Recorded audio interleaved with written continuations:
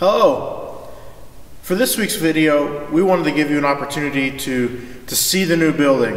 Uh, there's been a lot going on, there's a lot still progressing, and since you haven't been here every week, we wanted to take a chance and, and just let you know what was happening, uh, let you know uh, how it looked, uh, so you could see all the progress being made, even though we're not having church.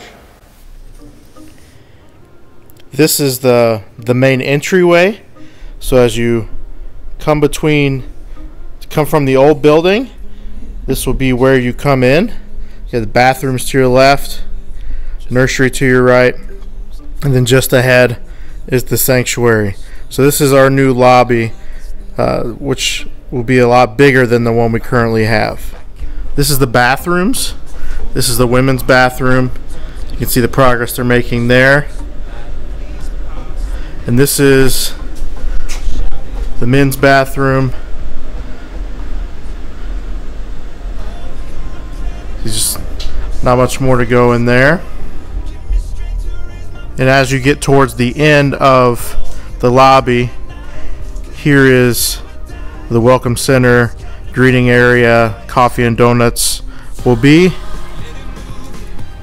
The entrance to the sanctuary. And then here is the nursery. As you can see a lot a lot bigger than what we have right now. So it'll be a good space for the kids and close to the sanctuary. And this is the sanctuary. Some large windows on either side. As you can see, we get your perspective from the front. Supposedly this will seat 350 plus, so we're excited about that. So this is the view from the stage, and up there you see balcony to the left, the left bottom of your screen is where the sound booth is. We have the balcony up there. You can see there are a lot of ceiling tiles still in, and then to the right, uh, that that room is staircase leading up. We'll go upstairs and take a look at the balcony. This is the balcony. There are two large classrooms up here. It can be used for small groups, Sunday school, whatever. And this is the view from the balcony looking down. See a lot more room so we can meet all together as a family. And these are the two classrooms. They'll be divided by a partition wall, so we can either have one large classroom or two good sized classrooms. And then down this hall is the utility closet.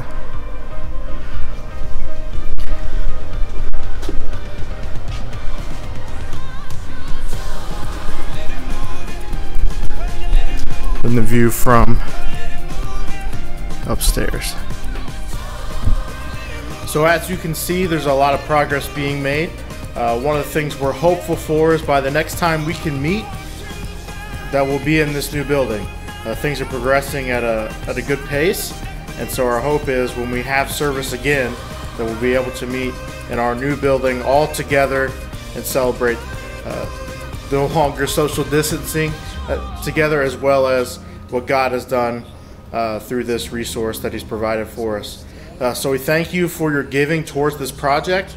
We thank you uh, for your prayer in this project, and we just are, are looking forward and excited to when we can all be in this building together. Have a great day.